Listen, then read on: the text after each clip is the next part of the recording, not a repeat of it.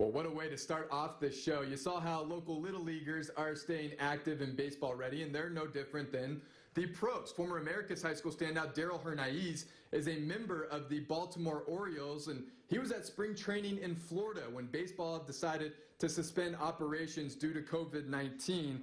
Hernaiz was a stud at Americas, leading him to being drafted in the fifth round of the 2019 MLB draft by the Orioles. And he had a lot of success in rookie ball, hitting 263 with a couple homers and eight runs batted in. It led to that early invite to spring training in late February, early March. And that's when baseball, well, the baseball world really got flipped upside down. We were already like three weeks, about four weeks in. I was already starting to face some live pitching, face some of, some of our double A arms.